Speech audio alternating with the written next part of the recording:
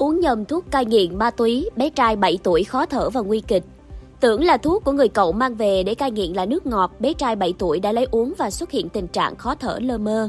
Sáng 21 tháng 11, Phó giáo sư tiến sĩ Phạm Văn Quang, trưởng khoa hồi sức tích cực chống độc Bệnh viện Nhi đồng 1 thành phố Hồ Chí Minh cho biết, bệnh viện vừa tiếp nhận nam bệnh nhi 7 tuổi ở quận Tân Phú bị ngộ độc nặng do uống nhầm methadone. Trước đó, người cậu của bệnh nhi nhận thuốc về để uống cai nghiện ma túy. Thấy nước thuốc màu hồng, chiều 19 tháng 11 bé trai đã lấy uống vì tưởng đó là nước ngọt. Vài phút sau bệnh nhi than mệt, khó thở và gia đình lập tức đưa đi cấp cứu tại bệnh viện quận 11. Lúc 19 giờ cùng ngày, trẻ được chuyển sang bệnh viện Nhi đồng 1 trong tình trạng mệt, khó thở và lơ mơ. Tại đây, trẻ được giúp thở, tiêm thuốc giải độc, rửa dạ dày, dùng than hoạt tính và thở máy. Do thuốc cai nghiện tác dụng kéo dài đến 36 giờ, nên trẻ được truyền thuốc giải độc liên tục. Hiện tại bệnh nhi đã tỉnh, đang tiếp tục thở máy, truyền thuốc giải độc và tập thở. Methadone là loại thuốc thường dùng nhằm điều trị cho người bệnh heroin.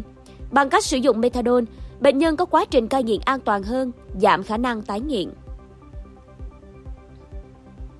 Nhiều người đã bị ngộ độc do uống nhầm methadone xảy ra. Hầu hết trẻ uống nhầm dung dịch methadone tại gia đình do tưởng là nước dâu tây hay nước ngọt. Vì vậy khuyến cáo nếu người nghiện được phép mang chất này về nhà, uống tại gia đình thì việc quản lý cần phải chặt chẽ để tránh trường hợp bị ngộ độc do uống nhầm. Hãy đăng ký kênh Alo Bác sĩ Video để nhận thêm nhiều thông tin mới nhất về y tế, sức khỏe.